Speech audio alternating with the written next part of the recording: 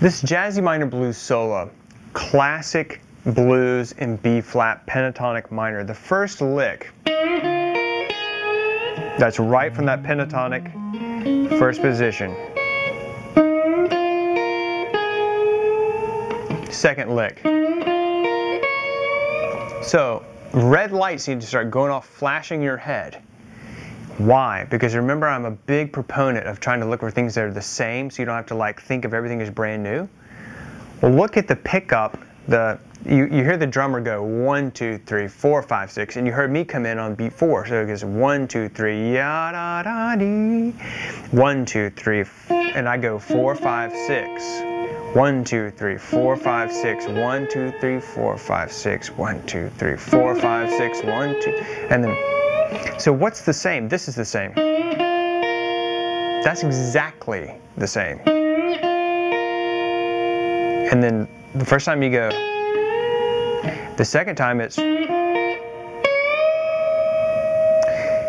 now that bend is not easy. But the way you can do it is use your pinky finger here and use these three fingers to help push up the string. Okay, and I'm grabbing that bend right there. You can see the crease in my finger still. I'm grabbing it right there. Okay, and then that comes back again. So that little lick, that comes back three times within the very first couple of things there. And then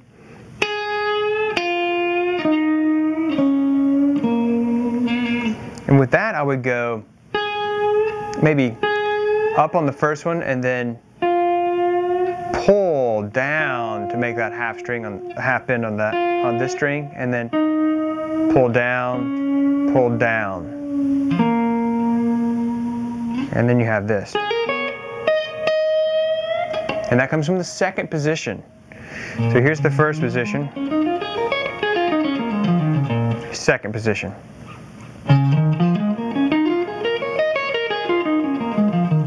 That's right from that second position, uh, three string box position there. Okay, and well, let's see, you have, let's see, and then you have, see those little dots there? That's a staccato, short, instead of this. It's a little bit different, subtle difference. This is without the dots, without the staccato. This would be with staccato. Okay, and then you have, and that's just a half bend there. And I'm just grabbing it ever so slightly.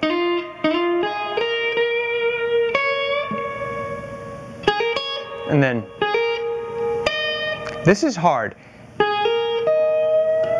Because what you have to do is grab this note.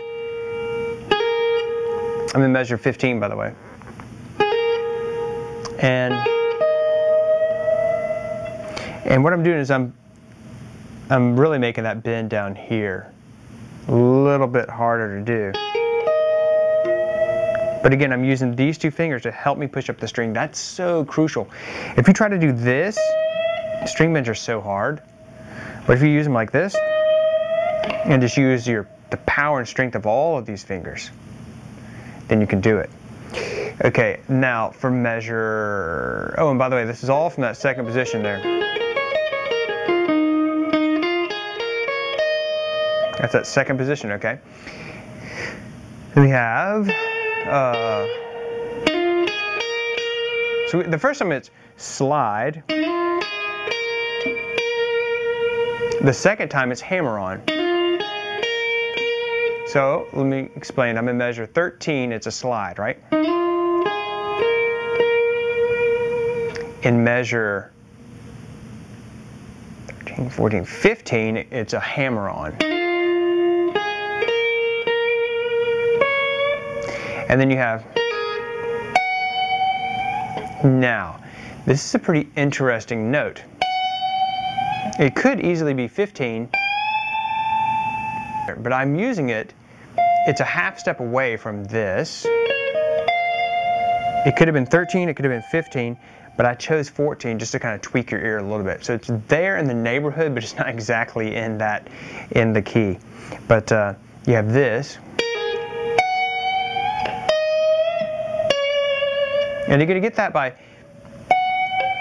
and then you got to stretch down to grab this note, and then do a bend up, and then come back down to the D, and then